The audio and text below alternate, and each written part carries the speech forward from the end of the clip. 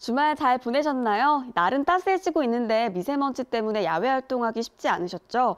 오늘은 대기질도 보통 수준을 회복하겠고 하늘도 모처럼 맑아서 바깥 활동하기 무난하겠습니다. 하지만 밤부터 다시 먼지 농도가 짙어지면서 내일 오전까지는 영향을 미치겠습니다. 참고하시기 바랍니다. 오늘 아침 어제보다 4, 5도가량 낮게 출발하고 있습니다. 대구와 구미가 영하 2도, 안동 영하 5도를 가리키고 있습니다. 한낮에는 대구와 구미가 13도까지 오르겠고요. 안동과 경주 도 12도로 비교적 포근하겠습니다. 오늘 전국 하늘 대체로 맑겠습니다. 다만 동풍의 영향으로 강원 일부 지역은 아침까지 산발적으로 눈이 조금 날리겠습니다. 자세한 우리 지역 날씨입니다. 건조함이 많이 사라지긴 했지만 여전히 서부 내륙 지역은 건조주의보가 발효 중입니다. 각종 화재 사고에 유의하시기 바랍니다. 중부 지역은 오늘 10도 안팎의 기온 분포를 보이겠지만 북부 지역은 일교차가 20도 가까이 크게 벌어지겠습니다.